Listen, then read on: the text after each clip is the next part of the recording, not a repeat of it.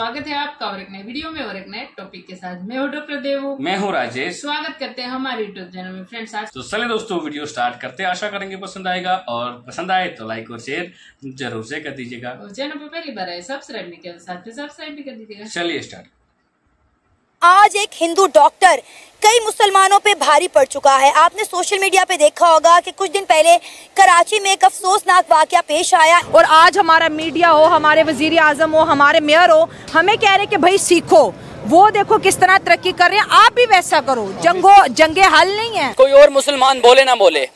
I will salute doctor Chunilal ji. Urdu में हम क्या कहते हैं? हिंद से। हिंद से। हिंद से। अच्छा हिंद से हिंद आया। हिंद से आया हाँ। तो पुराने पुरानी हिंदू तहजीब की बड़ी कामयाबियाँ थी और वो आजकल मुझे इतना फख्र हुआ कि चुनीलाल जी अ, पाकिस्तानी हिंदू हैं। तो बहुत ही अ, अ, अच्छा लगा उनकी इस बहादरी और ईमानदारी को। मैंने तो ये देखा कि इंडिया में जो साइंटिफिक क्वालिटी है वो अब वैसी ही है जैसा कि चाइना में है, जापान में है, अमेरिका में है। आप ये देखें कि क्योंकि इंडिया ने ये काम करके दिखाया आज उन्होंने जो 30 सालों में जो काम किया, अपने लोगों को ट्रेन कर करके बाहर भेजा, दुनिया की 25 बड़ी कंपनीज़ के सीईओज इंडियन हैं। 25 बड़ी कंपनीज़ के सीईओ इंडियन हैं। उन 25 कंपनीज़ के पास 5 ट्रिलियन डॉलर का बजट है 5 खरब डॉलर मैं खुद बिज़नेस का स्टूडेंट हूँ मैं जब देखता हूँ यार मैंने अपनी डिग्री पे 20-25 लाख लगा दिए और जब मैं मार्केट में देखता हूँ वो कहता है यार कुछ भी नहीं है। तो मजबूरन हमें क्या करना पड़ेगा? ये मुल्क छोड़ना पड़ेगा। मैं तो ये चाहता हूँ कि मुझे अगर इंडिया का अगर वीज़ा मिल जाए तो मैं तो इंडिया चला जाऊँगा भाई। एक बार फिर हमने देखा कि बलूचिस्तान में लोगों को उनके आईडी कार्ड देखकर मारा गया। तकरीबन तेईस लोग जो हैं वो मूसा केल में मारे गए हैं और आईडी कार्ड्स के ऊपर जो लोग जिनका ताल्लुक पंजाब से था, उनको उतारा गया, यानी पंजाबियों को चुन चुन कर बस से उतारा गया और 23 पंजाबियों को वहाँ पर मार दिया गया, हलाक कर दिया गया। नमस्कार दोस्तों, कुछ दिन पहले ही पाकिस्तान की कराची शहर में एक हादसा हुआ था। जिसमें एक अमीर लड़की ने नशे की हालत में अपने फॉर्च्यूनर से रोड में चल रहे लोगों की जान ले ली और जब उस लड़की को गिरफ़्तार किया गया तो उसने अपने पैसों के दम पर पाकिस्तानी पुलिस को भी खरीद लिया और खुद को एक मेंटल पेशेंट बताते हुए इस केस से अपना हाथ धो लिया। लेकिन पाकिस्तान के एक हिंदू डॉक्टर जिनका नाम चुन्नी लाल था, उन्होंने इस सच को पूरी दुनिया के सामने लाया। ये बताते हुए कि लड़की कोई मेंटल पेशेंट नहीं, बल्कि अपने नशे की हालत में लुत होकर लोगों की जान ले ली। अब हम सबको पता है कि पाकिस्तानी पैसों के लालच में अपने देश तक को बेच देते हैं। वैसे में एक हिंदू डॉक्टर जिसने डट कर अहिंसा और अन्याय के खिलाफ खड़े होकर लड़की की सच्चाई दुनिया के सामने लाई और ये दिखाया कि चाहे वो हिंदू हैं, लेकिन पाकिस्तान को अपना देश मानकर उसके साथ गद्दारी नहीं करेंगे। और उनकी इसी अच्छाई को देख पाकिस्तान के लोग इनकी तारीफों के पुल बाँध रहे हैं। इसी टॉपिक पर चलिए आगे पाकिस्तानी मीडिया का रिएक्शन देखते हैं। वीडियो को लाइक और चैनल को सब्सक्राइब कर लें। करें और शेयर करें। नाजरीन, आज एक हिंदू डॉक्टर कई मुसलमानों पे भारी पड़ चुका है। आपने सोशल मीडिया पे देखा होगा कि कुछ दिन पहले कराची में एक अफसोसनाक वाक्य पेश आया। एक अमीरजादी ने नशे की हालत में अपने फॉर्चूनर के नीचे कई लोगों को कुचल के रख दिया। कई लोग अपनी ज़िंदगी की बाजी हार गए।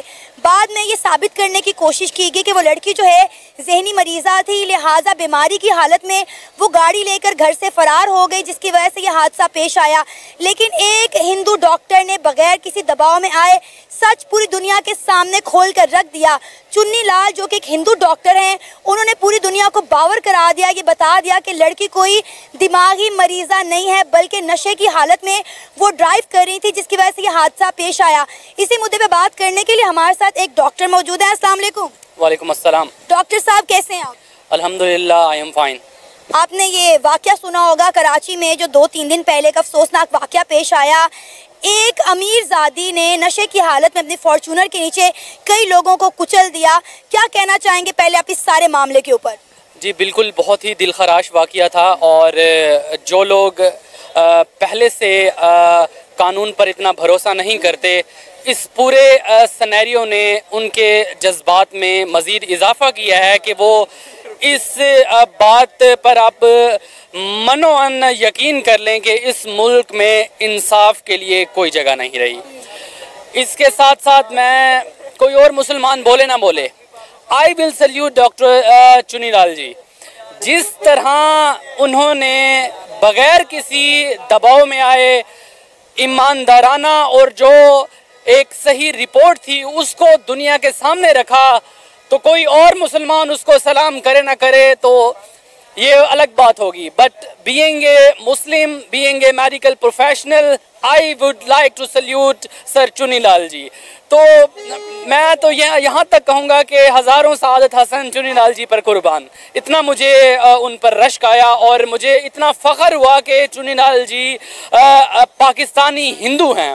तो बहुत ही अ, अ, अच्छा लगा उनकी इस बहादरी और ईमानदारी को देखकर और बहुत अफसोस हुआ अपने निज़ाम अदल को इतना कमज़ोर और मकड़ी के जाले की मानद पाते हुए। तो बहुत से सबक हैं जो आप इस पूरे सिनेरियो को देखकर सीख सकते हैं सना। देखें एक अमीरजादी ने ये काम सर अंजाम दिया।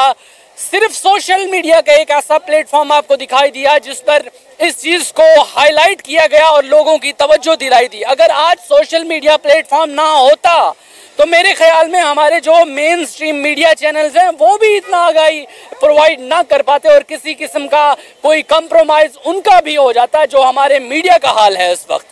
तो यकीनन सोशल मीडिया को क्रेडिट जाता है जिस तरह उन्होंने इस पहलू को इरेज किया, ना सिर्फ़ इस पहलू को, बल्कि पाकिस्तान में जहाँ पर भी किसी कमज़ोर के साथ कोई ज्यादती या जबर का सिलसिला आपको दिखाई देता है तो social media platform is number one to elaborate and promote this thing तो मैं सोशल मीडिया पर तमाम लोगों को भी अप्रिशिएट करना चाहूँगा कि उन्होंने इस मामले को दबने दे दिया।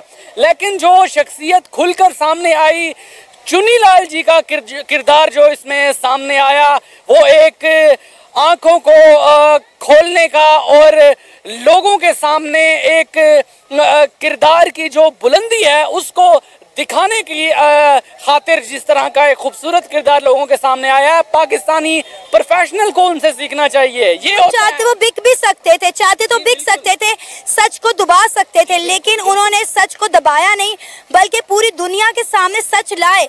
सुना है कहा जा रहा है कि उन्हें 20 करोड़ की ऑफ़र की गई थी कि रिपोर्ट में ये लिख दिया जाए कि वो जहनी मरीजा हैं वो दवाइयाँ खा रही थी लिहाजा इसलिए सारा मामला पेश आया। लेकिन चुन्नी लाल ने बगैर किसी दबाव के बगैर किसी लालच के अपने प्रोफेशनल को सामने रखते हुए उन्होंने सच का साथ दिया दूध का दूध और पानी का पानी पाकिस्तान के अवाम के सामने पूरी दुनिया के सामने रख दिया। जी बिल्कुल। ना कोई यूनिवर्सिटी तो नहीं बनाई। बड़े सग़ीर में जो हिंदू मत के लोग थे और जो यहाँ पर सिविलाइजेशन थी प्री इस्लामिक यहाँ पर साइंस की क्या साइंस की तरफ़ क्या रवैया था? क्योंकि ये भी हमने सुना है कि ज़ीरो इजाद जो है वो यहाँ की थी इस खत्े की। ना ये बात गलत है। अल बेरूनी जब यहाँ आया 990 समथिंग। Okay okay. उस वक्त उसने यहाँ आकर संस्कृत सीखी। उसने तेरह साल तक संस्कृत सीखी। उसने देखा कि ये ब्राह्मणों के पास क्या इल्म है उनकी उनकी पुरानी किताबों में क्या इल्म है और वो उससे बड़ा मुतासर हुआ। उसने कहा कि इनकी रियाजी इनकी फिज़िक्स तो लाजवाब है। और जो हिंसे है ना और सिफर ये अलबेरूनी ने अरब पहुँचाया। अच्छा। ये ये ये देखिए उर्दू में हम क्या कहते हैं? हिंद से हिंद से हिंद से अच्छा हिंद से हिंद, आया। हिंद से आया हाँ। तो पुराने पुरानी हिंदू तहजीब थैंक यू दोस्तों वीडियो को यहाँ तक देखने के लिए। बाकी दोस्तों आपकी क्या राय है इस वीडियो के माध्यम से आप आप कमेंट में लिखकर ज़रूर बता दीजिए। फ़िलहाल आपसे विदाई ले रहे मिलेंगे और एक नई वीडियो में दोस्तों आपके साथ। दिल देन जय हिंद जय भारत।